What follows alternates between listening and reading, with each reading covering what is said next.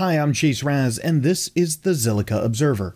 Partial consideration for this video was provided by Zilliqa directly, and we're here today to talk about the Zilliqa Ethereum Bridge, or the ETH Bridge as we've been calling it. Look, we've known for quite some time that this bridge was coming. This uh, particular screenshot here was from early March when some of the test network was initially being conducted. Um, we, we got some information about what was coming, but recently, and I mean very recently, on April 12th, we got a retweet from Amrit directly talking about some some GitHub merge activity going on. So what does this mean? This means that the ZIL ETH bridge is coming soon.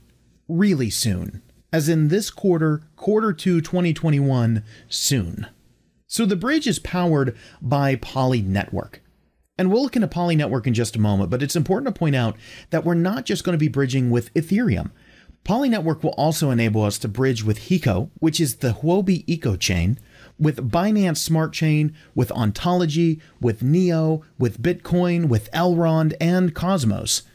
And because there are so many chains that are represented here, you can see that there are quite a few DEXs and DeFi products that are all going to be interoperable within the Zilliqa ecosystem now and of course us with them. But you know, I do see one right about so just directly up from there that tends to be our favorite, ZilSwap and Switcheo. Of course, you know we're on the Zilliqa blockchain, so we may be a little bit biased, but those two are, are particular interest to us. So the ecosystem is pretty large, and again, we're going to come back to that in just a moment. But I want to point out that if we were to go to Poly Network site, poly.network, what we would see is really three application scenarios that Polynetwork presents that they put front and center, and these are DEX, credit, and stablecoin. For DEXs, the key benefit is being able to facilitate transactions of non-native tokens. So yeah, ZilSwap will be able to trade between ZIL and ETH or ZIL and Bitcoin, and even let you LP for those pairs. That's pretty exciting. But this is also where lending comes in, and Polynetwork talks about how multi chain borrowing and lending helps scale the business volume for DeFi credit services.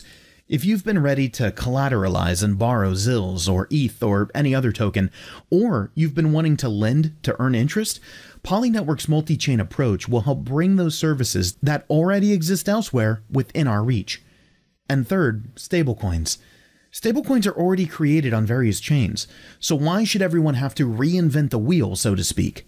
Stablecoins on Binance Smart Chain, Ethereum, and the other connected blockchains are about to be able to be used on the Zilliqa blockchain. Of course, Ethereum is the focus of this particular video because that's one of the key bridge points that we're most excited about. Not the only, but still, it's, it's a big one. In fact, back in the day, Zilliqa used to be an ERC20 token before mainnet, before Zilliqa launched its own blockchain. And so those particular tokens that are still floating around on Ethereum will be able to be brought over to Zilliqa.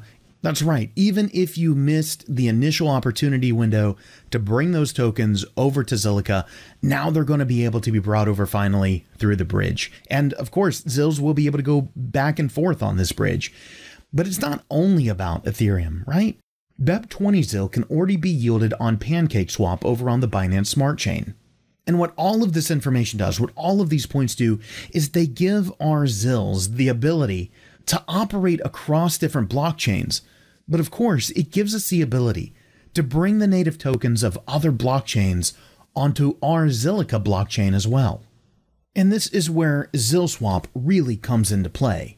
In fact, ZilSwap is really central to a lot of this operation and that's for two reasons. One, the, the first rather, is that bringing these tokens from other networks to Zilliqa is good for their circulation. And the reason for that is because we generally have lower gas prices than other networks like Ethereum and Bitcoin. I mean, significantly lower gas prices.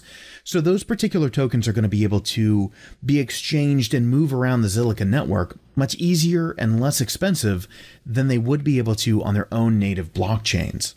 But it's, you know, it's not just good for them. It's also good for us, Zilliqans.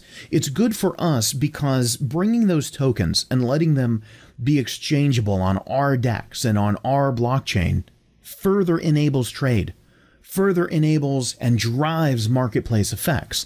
Think of it this way if you were going shopping, Would you rather go to a thriving, beautiful metropolitan shopping center that had everything you could imagine looking for? In the crypto world, this could be ZIL, Bitcoin, Ether. Would you rather do that, or would you rather have to run around to multiple sort of rundown, maybe even a little bit sketchy and half empty shopping malls to get the same things, driving all around town back and forth? Of course, we know the answer. You'd rather go to that shining metropolitan shopping center. That's that's what you would do. That's what I'd do as well. And with having these other chains' native tokens on Zilliqa, it enables us to do that very thing right here on ZilSwap. And so let's take a bit of a deeper look at Poly Network. According to their own white paper, Poly Network says they're an interoperability protocol for heterogeneous blockchains. And basically, look, what that means is that each blockchain that's connected through this protocol can do their own thing, can still be their own blockchain, but but each chain will be able to work with the tokens of other chains as if they were native. You've got to brace for that. Ether is about to be floating around the Zilliqa blockchain. Prepare yourself. Bitcoin is about to be floating around the Zilliqa blockchain. I, I know we've thought about these things, but really let them sink in. Really think about how this changes or advances your investing strategy, how this changes or advances your participation within crypto and blockchain. Now, Poly Network is relatively well known in Asia but they're not really known outside of there. So, what we would describe as our quote unquote Western countries, we don't see a lot of press or get a lot of indication of what Poly Network is up to, but they are significantly better known in Asia. And look, I mean, we can see that to um, to quite a large degree. If I bring the infographic back up, we can see the Binance Smart Chain is connected. Of course, Binance has Chinese roots, despite being currently located in Malta. Huobi and Neo are both out of China as well. Ontology is out of Singapore, just like Zilliqa is. And Bitcoin, you know, of course, Bitcoin has its APAC roots coming out of the Asia Pacific area.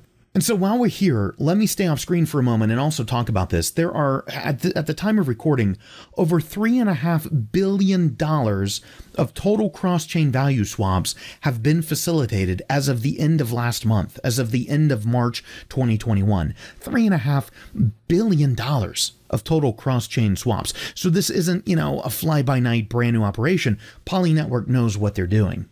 In terms of that volume, also crossing the 60,000 cross chain transactions level, that's quite impressive. Think about that over 60,000 cross chain transactions.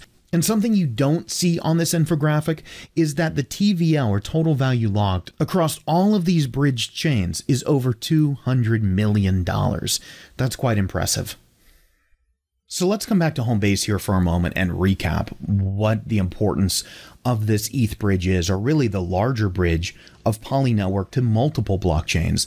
And so, first, a key benefit is that we will have access to multiple leading blockchains. And this enables trades in a way that, uh, just like we talked about before, because the, the cost of transactions is low, because it provides ease of access to other tokens that are native to different blockchains. Um, that alone lets us help avoid having to rely on centralized exchanges and other such, you know, more monolithic structures. So uh, the enabling of trade is massive when it comes to understanding the perceived benefit and, and the real benefit of this poly network bridge. But also hitting a little bit closer to home, one of the main, main benefits for us here in the Zilliqa ecosystem is how Poly Network will drive liquidity to ZilSwap because the liquidity pools will be required to facilitate these exchanges. The ETH ZIL pair, the Bitcoin ZIL pair, liquidity is required in those pools to make those exchanges happen. And the more that gets locked, we know that has an effect on things like slippage and other factors we can look at in other videos. But for now, I hope this gets you excited and and really, I mean, I, am I'm super excited. I'm ready to see it. The ETH bridge, as we're you know colloquially calling it, but of course it's really Poly Network. The Poly Network bridge is coming here within this quarter, quarter two of 2021. Get excited, everybody, and get ready. Start figuring out your strategies. On behalf of the Zilliqa Observer, I'm Chase Raz. Take care, everybody.